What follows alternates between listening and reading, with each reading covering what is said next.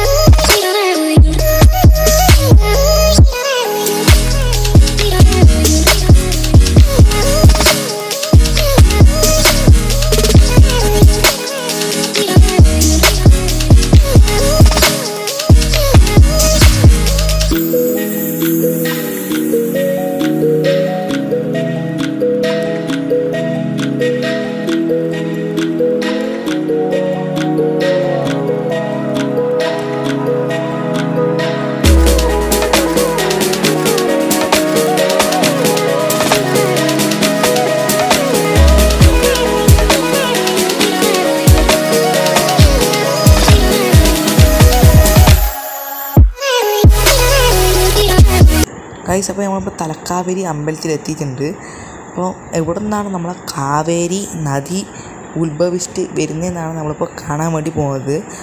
അപ്പോൾ ഇതാണ് തലക്കാവേരി അമ്പലം. അപ്പോൾ ഇതാണ് നമ്മളെ തലക്കാവേരി കാവേരി ഉത്ഭവിച്ചിട്ട് വരുന്ന ആ ഒരു ഭാഗം.